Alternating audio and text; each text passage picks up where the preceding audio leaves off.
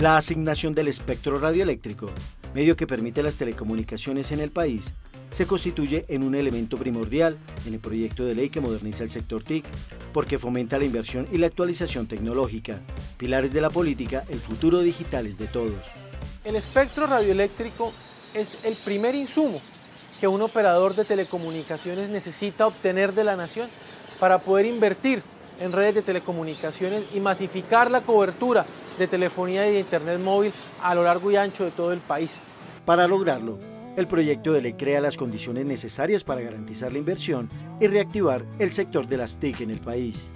Con esto logramos incentivar la inversión privada para llevar la cobertura de Internet móvil a todas las regiones del país, generando una mayor seguridad jurídica para la inversión de los operadores en Colombia.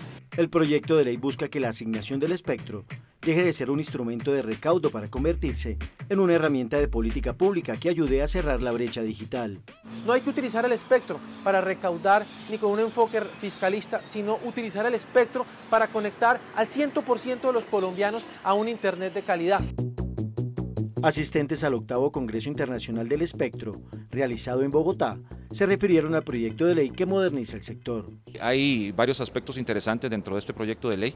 Eh, uno de ellos podríamos decir que es eh, eh, el esquema y cómo se está viendo la necesidad de tener alianzas. Me parece que plantea una visión más integral del sector TIC, incluyendo a los medios audiovisuales, a las telecomunicaciones, la premisa de establecer licitaciones de espectro que no estén solo basadas en un criterio económico es algo novedoso. Es una, una oportunidad grandiosa para el sector, para modernizar, para actualizar el Estado eh, y una oportunidad para todo el ecosistema.